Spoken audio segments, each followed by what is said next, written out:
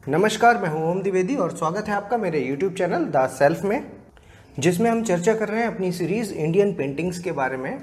और आज अपनी सीरीज़ के आखिरी लेक्चर के साथ हम चर्चा करेंगे फोक पेंटिंग्स के बारे में, यानी लोक चित्रकला के बारे में। दोस्तों, आज का लेक्चर पूरी पेंटिंग सीरीज़ का सबसे इंपॉर्टेंट लेक्चर है। और यूँ मानिए कि अगर एग्जामिनर को एक क्वेश्चन पेंटिंग से बनाने का मौका मिलेगा तो वो फोक पेंटिंग, यानी लोक चित्रकला को चुनेंगे। तो चलिए शुरू करते हैं सबसे पहले मधुबनी पेंटिंग्स के बारे में। दोस्तों, मधुबनी पेंटिंग्स को मिथिला पेंटिंग भी कहते हैं और ट्रेडिशनली ये पेंटिंग मधुबनी नाम के गाँव में महिलाओं के द्वारा की जाती रही है। इस पेंटिंग का फैलाव हमें नेपाल के तराई रीजन तक देखने को मिलता है और इस पेंटिंग की थीम जनरली हिंदू रिलीजन से जुड़ी हुई है, जिसमें कि कृष्ण की तस्वीरें, राम की तस्वीरें, दुर्गा, लक्ष्मी, शिव की तस्वीरें कॉमनली देखने को मिल जाती हैं। इन पेंटिंग्स की तस्वीरें जनरली सिंबॉलिक नेचर की होती हैं, जैसे कि मछली की तस्वीर गुड लक और पैदावार से जुड़ी हुई है। दोस्तों, मधुबनी पेंटिंग ऑस्पिशियस ओकेशंस के हिसाब से बनाई जाती है, जैसे कि बर्थ मैरिज और फेस्टिवल्स के लिए अलग पेंटिंग्स बनती हैं, जिसमें कि फ्लावर्स ट्रीज एनिमल्स एट्सेट्रा इन सभी को गैप्स को फुल करने के लिए बनाया जाता है। क्योंकि इन पेंटिंग्स में देखा गया है कि कोई भी खाली जगह नहीं छोड़ी जाती है, पूरी पेंटिंग को पूरी तरह से भरा जाता है। दोस्तों ट्रेडिशनली ये पेंटिंग दीवारों पर बनाई जाती थी, जिसमें कि गोबर और मिट्टी से मिला के बेस बनाया जाता था और फिर चावल का पेस्ट और सब्जियों के कलर्स से पेंटिंग को किया जाता था। और समय के साथ जो बेस था, वो कागज़ का, कपड़े का और कैनवास में तब्दील हो गया। और नेचुरल कलर्स का प्रयोग ये लोग आज भी कर रहे हैं। क्योंकि इन तस्वीरों में शेडिंग नहीं होती है तो ये तस्वीरें टू डायमेंशनल नेचर की होती हैं। और मधुबनी पेंटिंग के कुछ कॉमन फीचर्स की बात करें तो double line border bold use of colour ornate flower pattern और फेशियल फीचर्स को काफ़ी एग्जगरेट करके दिखाया जाता है। दोस्तों, मधुबनी पेंटिंग का ओरिजिन रामायण काल से माना जाता है, जब मिथिला के राजा ने राम और सीता की शादी के लिए घरों को और घरों की दीवारों को पेंट करने का आग्रह किया था। और आज भी यह मान्यता है कि ऐसा करने से ईश्वर को प्रसन्न किया जा सकता है। दोस्तों, ज़्यादातर देखा गया है कि महिलाओं को पीढ़ी दर पीढ़ी इस कला को पास किया जाता है। और 1970 में जाके इस पेंटिंग को रिकॉग्निशन मिला जब जीतलपुर गाँव की जगदम्बा देवी को राष्ट्रपति ने अवार्ड दिया। और जगदम्बा देवी के अलावा जो लोग इससे जुड़े हुए हैं, वो हैं बुआ देवी, भाटी दयाल, गंगा देवी, सीता देवी। और क्योंकि ये आर्ट एक फिक्स जोग्राफिकल एरिया में ही फ़ेमस है तो इसलिए मधुबनी को जीआई टैग का स्टेटस भी मिला हुआ है। अब हम चलते हैं अगली पेंटिंग जिसका नाम है पट्टा चित्रा। दोस्तों पट्टा चित्रा उड़ीसा की ट्रेडिशनल पेंटिंग है और पट्टा चित्रा नाम संस्कृत भाषा से आता है, जिसमें पट्टा का मतलब होता है कैनवास या फिर कपड़ा और चित्रा का मतलब होता है पिक्चर ये पेंटिंग क्लासिकल और फोक एलिमेंट का मिक्सचर है, जिसमें झुकाव लोक चित्रण की ओर थोड़ा सा ज़्यादा है. दोस्तों पेंटिंग का बेस कपड़े का होता है और कलर्स नेचुरल सोर्सेस से आते हैं, जैसे कि जले हुए नारियल के शेल्स हिंगुल, रामराज और लैंप की कालिक। इन पेंटिंग्स में किसी भी पेंसिल का और चारकोल का प्रयोग नहीं किया जाता है, जबकि ब्रश का प्रयोग आउटलाइन बनाने के लिए किया जाता है, जो कि लाल और पीले कलर से बनाई जाती है और आउटलाइन बनाने के बाद इसमें कलर्स भरे जाते हैं। दोस्तों पेंटिंग के बैकग्राउंड को फूल पत्तियों से सजाया जाता है और पेंटिंग के अंदर भी एक फ्रेम होता है जिसके अंदर ये पेंटिंग बनाई जाती हैं।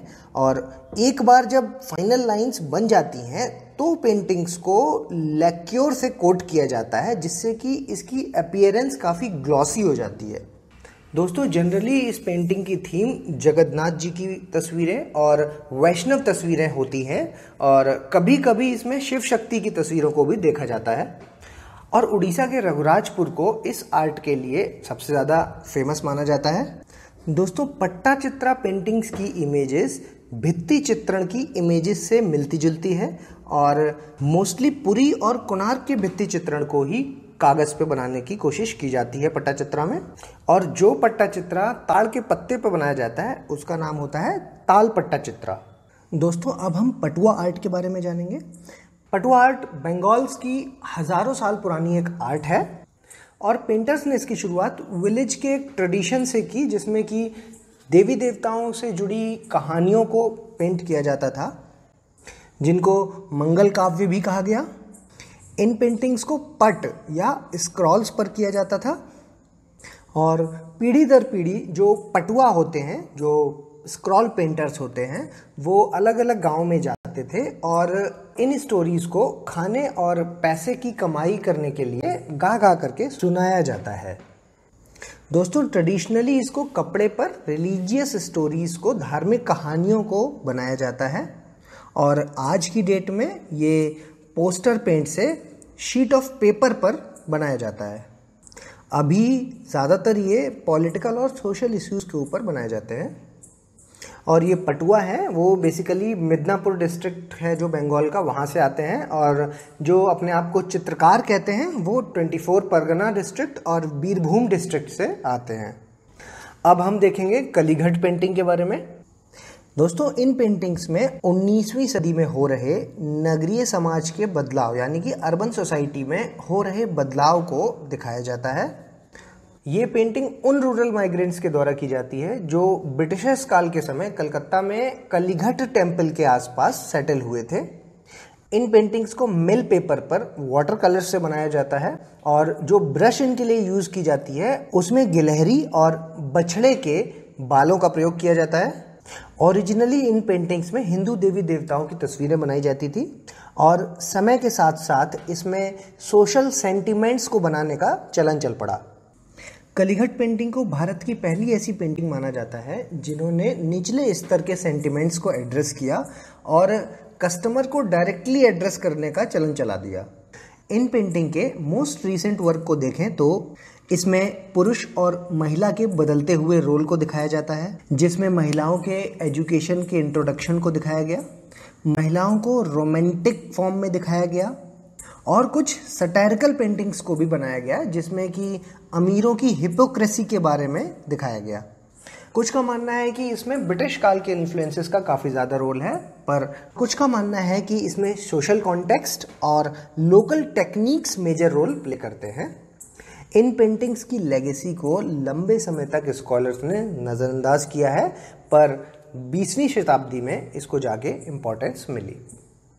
अब हम देखते हैं पटिकर पेंटिंग के बारे में, जो कि झारखंड के ट्राइबल पीपल्स के द्वारा प्रैक्टिस की जाती है। दोस्तों पटिकर पेंटिंग भी एक तरह की स्क्रॉल पेंटिंग है, जो कि भारत की one of the ancient school of paintings में से एक है। और इस पेंटिंग का ममानसा के साथ क्लोज कल्चरल एसोसिएशन देखने को मिलता है। ममानसा जो कि एक बंगाली पॉपुलर देवी मानी जाती हैं। इन पेंटिंग्स का लिंक सामाजिक और धार्मिक कस्टम्स के साथ जुड़ा हुआ है, जिसमें यज्ञ वगैरह भी दिखाए जाते हैं। दोस्तों पैटकर पेंटिंग का जो मोस्ट कॉमन थीम है, वो है कि what happens to human life post death यानी मृत्यु के बाद ज़िंदगी कैसी होती है? हालाँकि आज ये पेंटिंग अपने एक्सटेंशन के कगार पे चल रही है और पूरी तरह से डिक्लाइन होती जा रही है। और अब हम देखते हैं कलमकारी पेंटिंग के बारे में। इस पेंटिंग का नाम कलमकारी कलम, यानी पेन के नाम पर पड़ा है, जो कि पेंटिंग करने के लिए प्रयोग किए जाते हैं। और इसमें जो पेन बनाए जाते हैं, वो बैम्बू के शार्प पॉइंटेड पेन्स होते हैं, जिनका प्रयोग कलर्स को रेगुलेट करने के लिए भी किया जाता है। इन पेंटिंग्स का प्रयोग कॉटन के फैब्रिक पे किया जाता है, और कलर्स के लिए सब्जियों का प्रयोग होता है। दोस्तों, आंध्र प्रदेश के श्रीकालहस्ती और मछलीपट्टनम को इसका मेन सेंटर माना जाता है। इन पेंटिंग्स को आर्टिस्ट मोस्टली दीवार पे टांगने वाली पेंटिंग्स की तरह से बनाते हैं और इसका जो इंस्पिरेशन है, वो हिंदू मैथोलॉजी से देखने को मिलता है। अब हम वर्ली पेंटिंग्स के बारे में जानेंगे। दोस्तों वर्ली पेंटिंग का नाम उन लोगों से आता है जिन्होंने पेंटिंग के ट्रेडिशन को ढाई से तीन हज़ार बीसी से संभाल के रखा हुआ है। और इनको वर्लीज कहा जाता है। और ये वो लोग हैं जो गुजरात और महाराष्ट्र के बॉर्डर में रहते हैं। दोस्तों, इन पेंटिंग्स का रिजेंबलेंस भीम बेटका की गुफाओं के भित्ति चित्रण से काफ़ी मिलता है। और इनके समय की बात करें तो ये प्री हिस्टोरिक पीरियड से इनका ताल्लुकात मिलता है। दोस्तों, इन पेंटिंग्स को बनाने का रीति रिवाज चौखट पर है, जिसमें कि अलग अलग तरह के सीन्स जैसे कि फ़िश का सीन हंटिंग का सीन फ़ार्मिंग का सीन डांसिंग एनिमल्स का सीन ट्रीज का सीन और फेस्टिवल्स के सीन देखने को मिलते हैं। दोस्तों, इन पेंटिंग्स में पालाघाट की तस्वीर, जो कि गॉडेस ऑफ़ फर्टिलिटी मानी जाती हैं, वो काफ़ी कॉमन देखने को मिलती है। ट्रेडिशनली ये पेंटिंग दीवारों पर की जाती है विद वेरी बेसिक वोकेबलरी जैसे कि ट्रायंगल्स सर्कल और स्क्वायर्स की मदद से ये पेंटिंग्स को बनाया जाता है। और इन शेप्स को नेचर से इंस्पायर किया गया है। जैसे कि सर्कल को सूरज और चंद्रमा का प्रतीक माना जाता है। ट्रायंगल का शेप कॉनिकल ट्रीज और माउंटेन से माना जाता है। वहीं स्क्वायर शेप है जो वो पीस ऑफ़ लैंड को रिजेंबल करता है। दोस्तों, अगर ह्यूमन और एनिमल की तस्वीर को बनाना है तो दो ट्रायंगल्स के टिप्स को आपस में जोड़ दिया जाता है और जो सर्कल्स होते हैं, वो हाथों को डिपेक्ट करते हैं। पेंटिंग के बेस को बनाने के लिए लाल गेरुए रंग का प्रयोग होता है, जो कि मिट्टी, गोबर और कुछ ब्रांचेस को मिला करके बनाया जाता है। और पेंटिंग के लिए सिर्फ़ और सिर्फ़ वाइट कलर का पिगमेंट यूज़ किया जाता है, जो कि गोंद और चावल के पाउडर से मिलाकर बनाया जाता है। ये पेंटिंग्स जनरली कटाई के मौसम में और शादी ब्याहों में अक्सर देखने को मिल जाती हैं। दोस्तों, अब हम थंगका पेंटिंग के बारे में जानेंगे। दोस्तों, थंगका पेंटिंग सिक्किम की पेंटिंग है और इसमें बुद्धिज़्म के हाईएस्ट आइडियल्स को, यानी कि महान सिद्धांतों को दिखाया जाता है। ट्रेडिशनली ये बुद्धिस्ट मॉन्क यानी बौद्ध भिक्षु और किसी पर्टिकुलर एथनिक ग्रुप के द्वारा बनाया जाता था और इसकी स्किल्स को एक जनरेशन से दूसरी जनरेशन तक आगे पहुँचाया जाता है। अभी ये बहुत सारे लोगों तक पहुँच चुकी है और अब इसको कॉमर्शलाइज भी कर दिया गया है। और इन पेंटिंग से जो भी कमाई होती है, वो सिर्फ़ आर्ट या आर्टिस्ट को नहीं दी जाती, बल्कि मोनेस्ट्रीज के मेंटेनेंस पर भी इसको खर्च किया जाता है। थंगकास को भी कॉटन कैनवास पे बनाया जाता है और पेंट के नाम पर नेचुरल वेजिटेबल डाइज और मिनरल्स डाइज का यूज़ किया जाता है। इसमें जो कलर का यूज़ किया जाता है, उसका अपना एक अलग सिग्निफिकेंस है। फॉर एग्ज़ाम्पल लाल कलर इंटेंसिटी ऑफ़ पैशन को शो करता है। चाहे वो प्रेम का पैशन हो या नफरत का पैशन गोल्डन कलर लाइफ और बर्थ को शो करता है। सफ़ेद कलर शालीनता को और काला कलर गुस्से का प्रतीक माना जाता है। वहीं हरे कलर का मतलब है अंतरात्मा को दिखाना और येलो कलर से कंपैशन यानी दया को दिखाया जाता है।